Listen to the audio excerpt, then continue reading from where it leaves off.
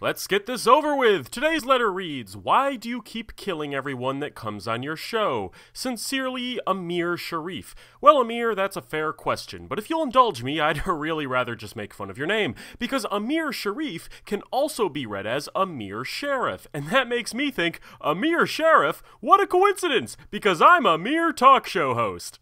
G- get it?